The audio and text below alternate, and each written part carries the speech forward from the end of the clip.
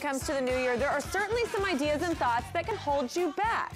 So how do you get past these gracefully? Well, Dougall Fraser, psychic and life coach extraordinaire, is here to tell us how to present a new year and a new you. I like extraordinaire. Thank you. As I toss my hair. We threw that in there just for you. Okay, so it's the new year. I feel like people are always full of these just like, let's just be honest, these bullcrap resolutions. Absolutely. But sometimes those resolutions can hold us back because we don't let go of the year before. Well, so here's the thing, you know, everybody thinks with the psychic that your entire life is written in stone, and unfortunately it's not. We have certain strengths and weaknesses that keep repeating as patterns in our life. So as the new year, when everyone's focusing on changing their energy, it's a great time to set your intention.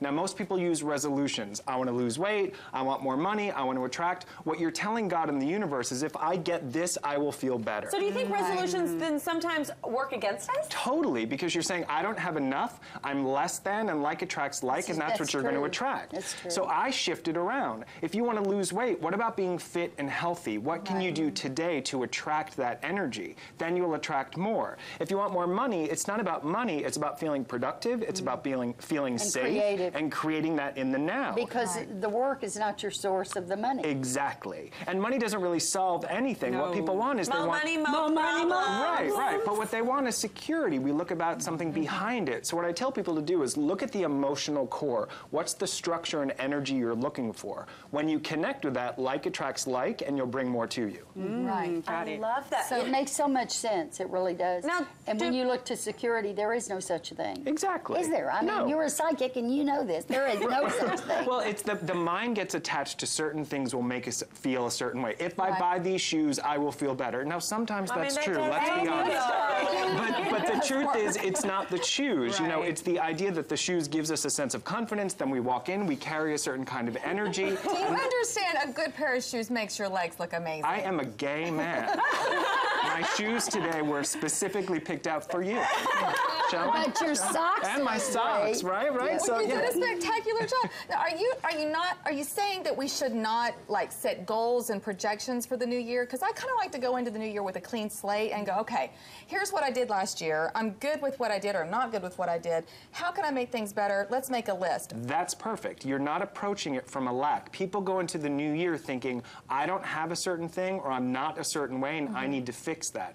I'm telling you to focus on what you're great at, what energy makes you feel the most connected to who you are, mm-hmm. and that's how you attract abundance. Because you said like attracts like, like good, Exactly. good. If you put good stuff out there, then you attract good stuff. If you Exactly. put negative energy and I did it and I can't, then you won't and you. You already enter the new year feeling like a failure. I want you to feel your absolute best. Mm-hmm. So, what makes you feel connected? I talk about designing the perfect day. That day where your hair feels great, you love your outfit, everything goes well. What elements do you need to be that person? And that's how you attract. and a makeup artist. And that's how you attract the day that you're looking for, and you know, a joyful and prosperous life. Now, But you you've have done that this. every day. You've I'm done this for for a while, and for maybe our new viewers and some of our newer markets, they don't, um, they haven't seen you on our show before. So tell us how you got started in this whole psychic life co- life coach world. Well, my parents said by the time I was standing in the crib, I would talk about seeing colors around people, and my mom was like, "Oh my God, he's chosen," and my dad was like, "He's crazy," um, and sent me to therapy very, very quickly. But I do see color and energy around people. Like when I look at you, yeah, you, you have this soft blue around you. Now, blue is someone that will say absolutely anything, which, which, let's be honest, is sometimes lovely and And sometimes, a little horrible. disconcerting. So what would you think my birth sign is? I have absolutely no idea. I'm not an astrologer. Are you a See, that's the thing. That means nothing to me. Oh. I, I work with energy and color, and, and that's how it works with me. So when you Yeah. were a baby, you used to were seeing colors I was, yeah. around people. Yeah. Well, what color do you see around Dawn? She has pink. Pink light is light of perfection and unconditional love. She can be a little bit critical of herself, All which is the funny though. You're too oh. forgiving of other people, but really hard on yourself. to the nine. Guys, it's a gift. I don't own it. Oh so what is Amy's?